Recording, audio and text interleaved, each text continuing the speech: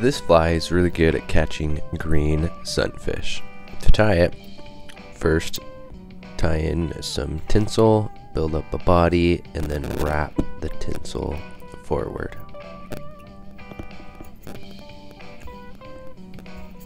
Tie it off. Next, grab some dubbing. I have ice dub in purple. Just grab something flashy. Build up ahead, and whip finish.